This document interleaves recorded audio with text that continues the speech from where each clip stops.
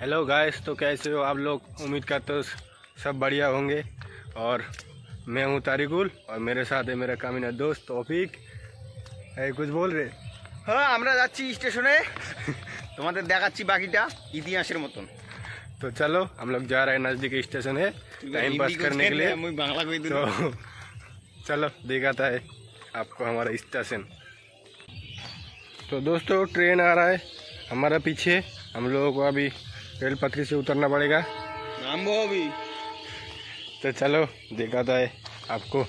इधर हमारा स्टेशन है और इधर एक ट्रेन आ रहा है इसके लिए हम नीचे आ गया। आपको ट्रेन दिखा थे देखो।